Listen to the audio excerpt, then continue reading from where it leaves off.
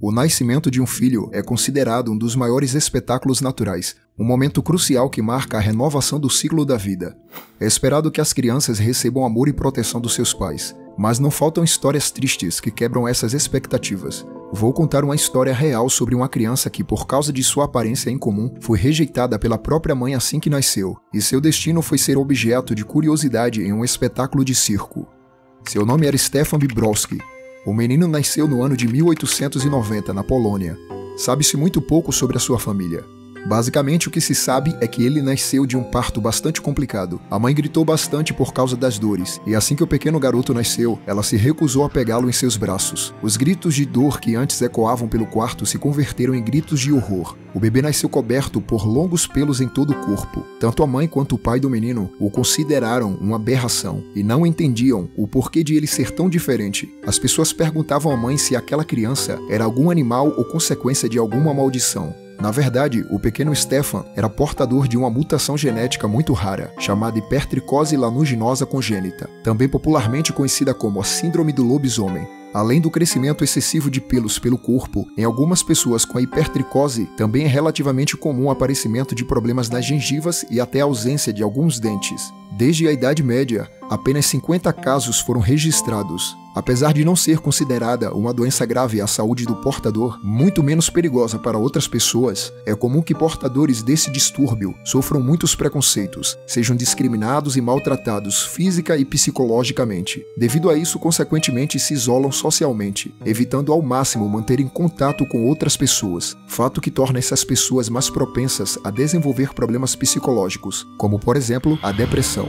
Stefan foi rejeitado pela própria família. Seus pais decidiram abandoná-lo. Ao saber do caso, um empresário alemão chamado Zilmeier resolveu adotar Stefan, que na época tinha apenas 4 anos de idade. Sem pensar duas vezes, sua própria mãe o entregou. O empresário tinha planos de lucrar com a aparência exótica do garoto. Ele criou um nome artístico para ele, que seria a marca de Stefan durante o resto de sua vida: Lionel, o homem com cara de leão. O empresário começou a exibir Stefan em shows por várias cidades da Europa. Stefan perdeu sua identidade própria. Ele foi mostrado apenas como uma aberração. Não era mais Stefan, se tornou apenas Lionel, o homem com cara de leão. Para tornar a história ainda mais assustadora e intrigante para o público, o empresário alemão anunciava o show explicando que a mãe de Lionel, quando estava grávida, testemunhou a morte trágica de seu marido, devorado por um leão, e que de alguma forma Lionel teria sido consequência dessa tragédia. Durante os shows, as pessoas na plateia contemplavam Stefan sempre com olhares de horror e medo. Era comum as pessoas direcionarem até mesmo xingamentos a ele. No ano de 1901, Stefan foi levado pelo empresário alemão aos Estados Unidos, onde passou a se apresentar nas ruas das cidades da costa leste. As pessoas se aglomeravam para vê-lo nos calçadões e cais, locais onde normalmente suas apresentações eram realizadas. O garoto foi visto por caçadores de talento do circo Barney Bailey. Imediatamente, eles tentaram contratá-lo, negociaram com o empresário alemão e conseguiram.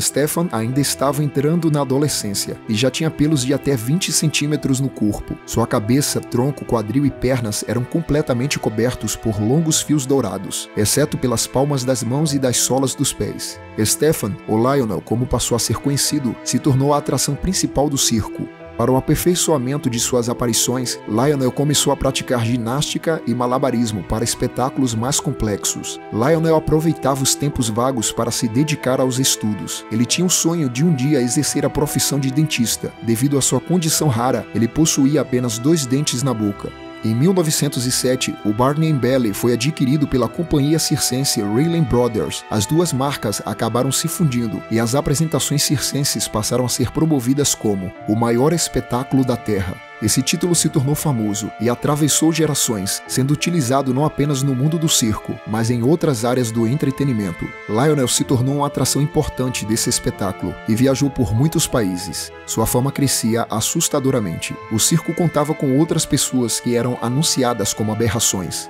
Com o passar do tempo, Lionel passou a interagir cada vez mais com a plateia, mostrando um lado que entrava em contraste com o que os espectadores esperavam ao adquirir os ingressos. As pessoas entravam em choque com a personalidade educada, tranquila e gentil do homem que era anunciado como uma aberração, e assim Lionel conquistou a simpatia dos espectadores. Muitos relatos sobre Lionel contavam que ele não odiava a jornada de espetáculos e que ele era totalmente livre para realizar as performances ou simplesmente deixá-las de fazer. Ele também conseguiu conquistar uma quantidade razoável de dinheiro graças ao seu empenho em sempre se manter relevante. No ano de 1920, Lionel decidiu abandonar o maior espetáculo da Terra e estabeleceu moradia fixa em Coney Island, nos Estados Unidos, onde passou a conduzir um show sozinho, fazendo as apresentações da forma como ele realmente queria. Sua fama se manteve e com condições diferentes, pois as pessoas tiveram a oportunidade de se aproximar de verdade daquele homem que era julgado como um monstro, uma aberração, o homem com cara de leão.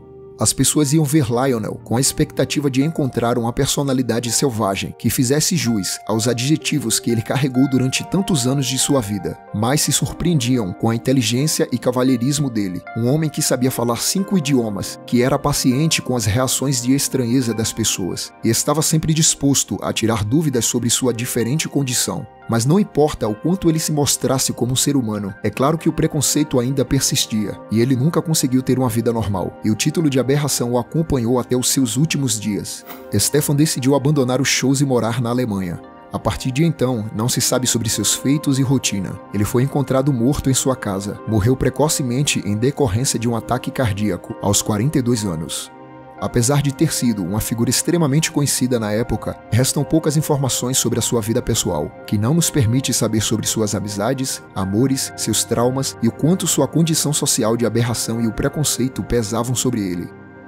Se você gostou desse vídeo, não esqueça de deixar o seu like. Para acompanhar os próximos conteúdos, inscreva-se no canal e clique no sininho de notificações. Se tiver alguma recomendação de conteúdo, deixe nos comentários. Até o próximo vídeo. Abraços!